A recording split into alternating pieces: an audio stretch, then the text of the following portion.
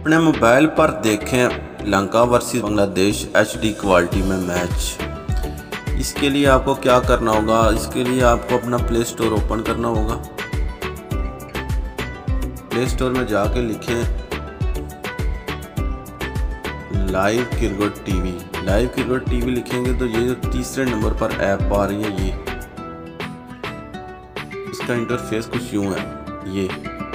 इसको डाउनलोड करें और बांग्लादेश और श्रीलंका का मैच देखें।